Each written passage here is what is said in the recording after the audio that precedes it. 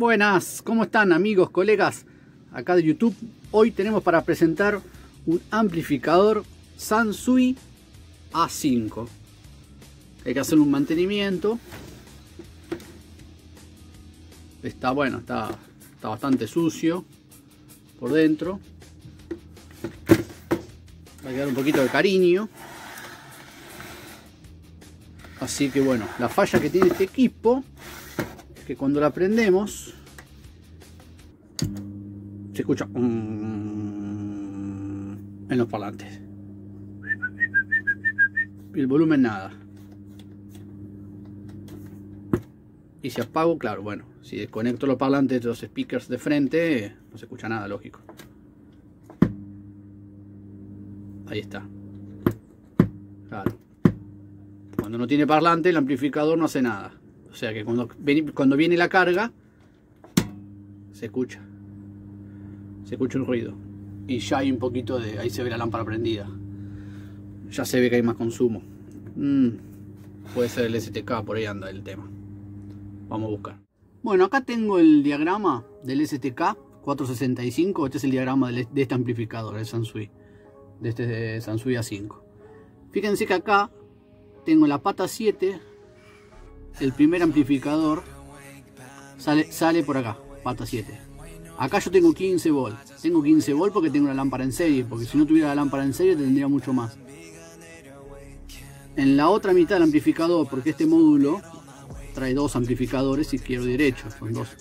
En la pata 10, acá te marca que tiene que haber 0 volt. Bueno, yo en la pata 10 tengo 0 volt. Pero en la otra pata acá tengo 15, debería estar en 0.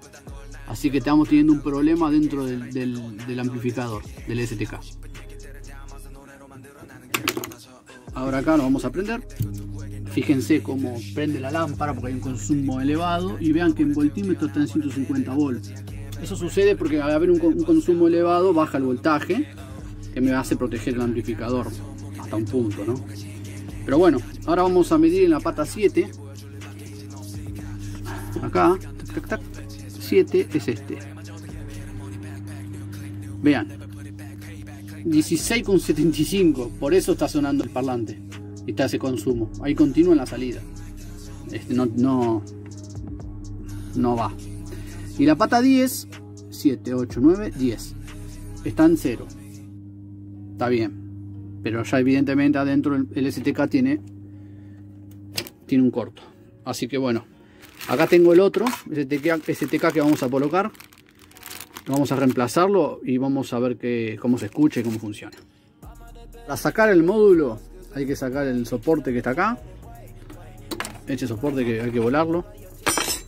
Y hay que sacar, bueno ya, ya, lo, ya lo saqué. La soldadura pobrecita está media media. Hay que tratarlo bien. El disipador tiene la grasa siliconada más vieja contra vieja.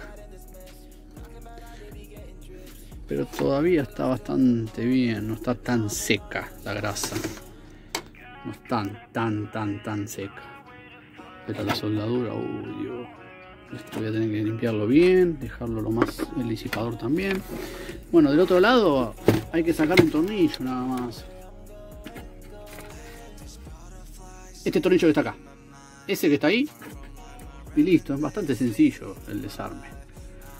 Pero bueno, vamos, vamos a limpiar todo bien. Voy a, sopletear todo, voy a aprovechar ahora a sopletear todo. Vamos a limpiar todo y lo voy a colocar otra vez.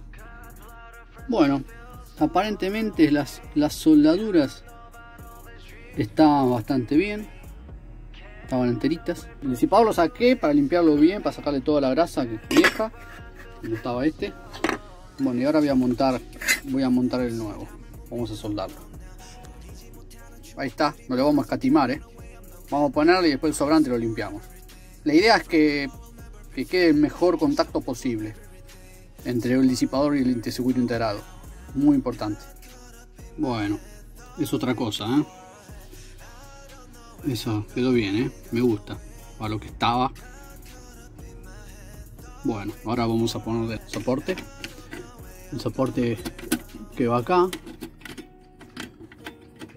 hay que buscar la vuelta ahí está van dos tornillos acá atrás negros y acá va del otro lado un tornillo, así que vamos, vamos a armar. Cambié el circuito integrado de STK y empezó a andar perfecto.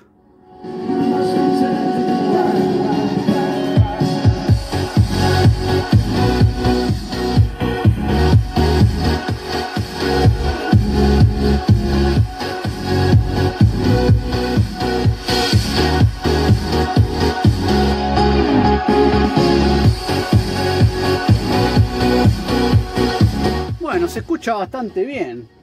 A pesar que tiene 25 watts por canal en 8 ohms, más, más no se le puede pedir este equipo, no se puede usar a menos de 8 ohms.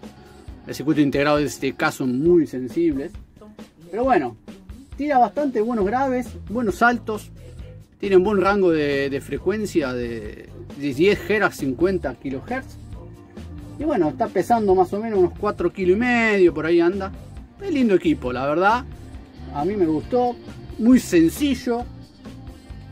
Fue un equipo que se lanzó en el año 82.